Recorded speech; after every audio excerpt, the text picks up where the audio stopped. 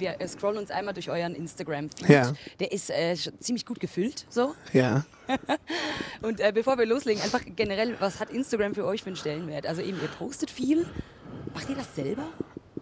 Ihr Äh, ja, klar. Ja? Wir sind da einfach gerne mit den Leuten in Kontakt und hauen auch einfach gerne Sachen rum. Und es ist auch einfach affengeil, was wir gerade erleben dürfen, weißt du? Ich meine, wir sind ja eine Band, wir haben das jetzt, machen das jetzt seit zwölf Jahren und was wir in den letzten drei, vier Jahren erleben dürfen, ja, verfickte Scheiße nochmal. Äh, da findest du es auch einfach geil, so ein scheiß Foto vom Rock am Ring rauszuhauen, wo 50.000 Leute stehen. Oder du findest es auch einfach geil, auf den Kacke zu hauen und zu sagen, guck mal, Alter, wo ich hier heute stehe, ja, in See. Und äh, wir spielen hier heute Konzert mit. Unten schwitzen wir wie Schweine, oben ist Schnee. Hört sich jetzt dumm an, aber es, es sind die primitivsten Sachen, die da natürlich angesprochen werden. Und ja, primitiv sind wir manchmal auch. Aber komm, wir, wir schauen mal eben kurz, was ihr alles äh, Tolles gepostet habt. Es spiegelt so ein bisschen das, was du gerade angesprochen hast. Man merkt, ihr habt richtig Spaß. Das merkt man richtig. Ich habe mir ein paar rausgesucht und zwar glaube ich, das hier ist das erste, was ihr gepostet habt am 16. Juni 2013. Es ist ein bisschen hell. Geil, ja, wir standen im Stau.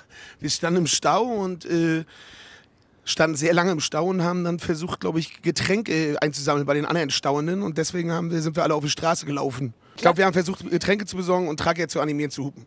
So, ja, ganz so viel zum Thema primitiv. So, ja, stumpfes beste Trumpf. Beispiel. Ähm, was haben wir noch? Ah, genau, das ist also eins von meinen Lieblings. Das ist ein Screenshot, äh, den ihr selber gepostet habt von Facebook. Und zwar hat Materia euch ein Herzchen geschickt und Fan geschrieben. Das war irgendwann im Juli 2013.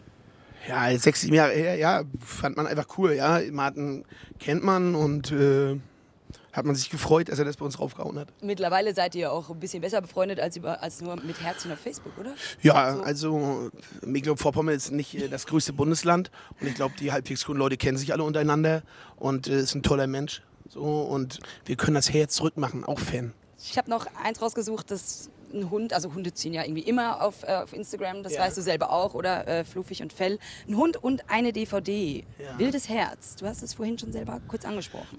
Ach, das ist einfach ein Freund, der hat mir ein Foto geschickt, der hat so einen Hund und äh, das Foto fand ich süß und das ist halt der Film über uns, die hatten uns drei Jahre lang begleitet und äh, der Film kam letztes Jahr im Kino und äh, Hunde, Katzen, zieht immer.